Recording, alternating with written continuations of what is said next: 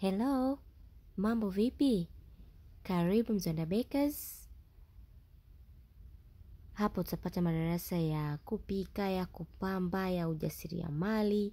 Ni wewe tu na komenti yako, unataka nini na tuingie wote pamoja darasani.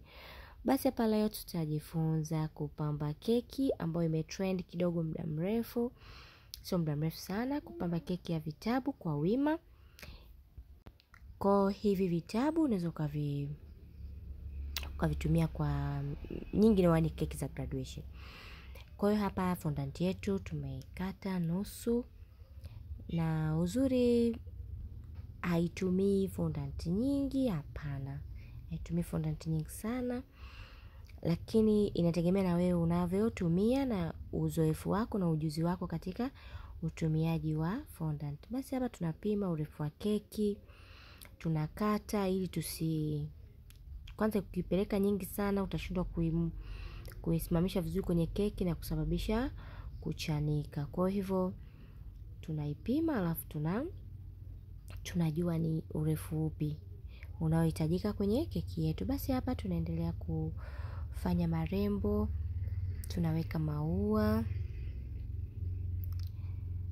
Basi sasa ile tulikuwa tumepitia pembeni kule usawa wa keki yetu, basi huko ndo unaenda unakata, inakuwa haujatumia fondant nyingi ovyo ovyo na kuhangaika kwenda kuiweka kwenye keki wakati keki yenyewe inakuwa ime fondant imekuwa kubwa zaidi. Kwa hiyo vizuri kupima upana hatukuweza au kutoshea kwa sababu ya meza yangu nilikuwa narekodia hapa haikuwa ndefu ya kutoshea round yote. Kwa hiyo hapo tunapobabakiza utapamalizia kwa fondant unaweka tena unaikamilisha hivyo. Basi hapo utatoa hiyo iliyozidi. Hapa tunafunika kifuniko cha juu kwenye fondant kwenye keki yetu. Kama keki uliacha muda mrefu, basi chukua tishu, weka maji yako yawe masafi, basi isponji kidogo keki ili kuweza kunatisha vizuri fondant yako iweze kushika. Unaweza kuta uliweka muda mrefu ama pia unaweza ukaiweka kwenye fridge, freezer ikapata kaunyevu kidogo ukaitoa, basi hapo inashika fondant vizuri zaidi. Kama nilivyokwisha kuambia, yoyote mwenye utata na kazi hizi tunazozifanya, comment tu hapo chini. Tukipitia comment tunapata kujua ni somo lipi ambalo tunaweza tuka share ili tuweze kupata ujuzi zaidi na zaidi ili wote tuweze kujikwamua kiuchumi hivyo, na ndicho kikubwa ambacho kinahitajika. Bado keki inahitajika sana, yaani wewe kujua humzuii mwingine kuingiza riziki. Kwa hivyo wala msijali jamani, tuendelee kupeana ujuzi hapa na pale, basi tunaweza kufika sehemu nzuri zaidi. Basi hapo juu tunaendelea ku design keki yetu ya vitabu ambavyo tumesema vitabu vya wima. Hapo tunaweka design ya sambusa, ina maana ni V, unaiweka kwa juu. Hakikisha tu umenatisha vimaji kidogo ili iweze kunasa kwenye keki yako. Basi hapa tunatumia kisu, unaweza kutumia kitu chochote ili kuweka mistari ya kitabu. Vitabu lazima viwe vina mistari yake hivyo juu. Basi tumekamilisha vyote. Sasa hapa tunaweka rangi tofauti tofauti ya vitabu kulingana na uh, upendeleo wako au pia mteja ni jinsia gani. So kuna jinsia nyingine ambayo utakiwi tu kuweka tu rangi, hapana. Mtoto ni wa kiume, basi ukamwekea pink kidogo ina hai, hai vizuri. Kwa hiyo hivyo unaweza ukachagua ukapindisha tu kidogo ukaweka rangi nyingine kama hivyo.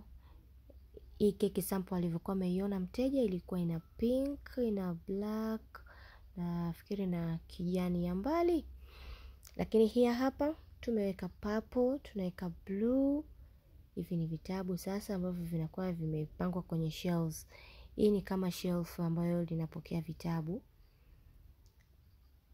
hivyo. Safi, unamalizia unakuwa na kapicha kako labda pembeni, au kama hivi ukiwa na sample ukiangalia ukiona kwamba wapi sielewi imefanywaje hii, basi hivi ndivyo inavyo tengenezwa. Kwa wale ambao hawajawahi kuona hata kufikiria inafanywaje keki kama hii, basi ni hivi, unaandika na vitabu vyako. Sasa hapa tumetumia alphabet kata ambayo tumeandika kule kwingine, na hapa tunamalizia ili uone inafanyikaje. Basi hapa ni maths, kule tuna Kiswahili, tuna science na hapa tuna mathematics, kwa tunaandika kwa kifupi.